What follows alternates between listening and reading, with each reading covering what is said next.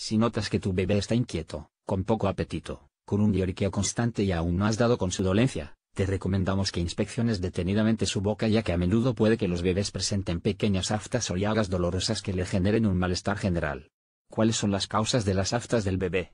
Las razones por las cuales tu bebé padece de llagas bucales pueden ser variadas, por lo general se debe a un exceso de sensibilidad a las bacterias presentes en su boca lo que genera la aparición de estas vesículas pero también puede deberse a falta de vitamina B12, hierro ácido fólico u otro tipo de infecciones del área amígdalas, garganta, etc. Por lo general, estas pequeñas llagas se localizan en las paredes de la boca o en la lengua y son fácilmente reconocibles por su color blanco o rojo.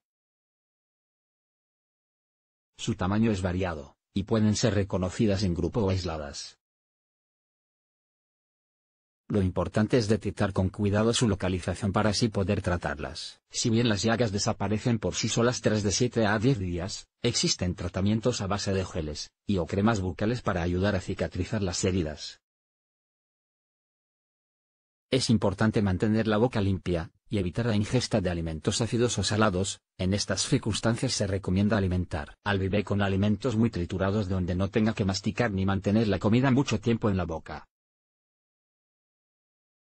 Si bien estas llagas suelen desaparecer con el transcurso de los días, debes consultar al pediatra en caso de que las encías del niño se inflamen, y se tiñan de color rojo o amarillo, aumenta considerablemente el número de aftas en la boca, el niño tiene fiebre, no come ni bebe, las aftas se expanden a otras zonas del cuerpo como genitales, párpados, etc.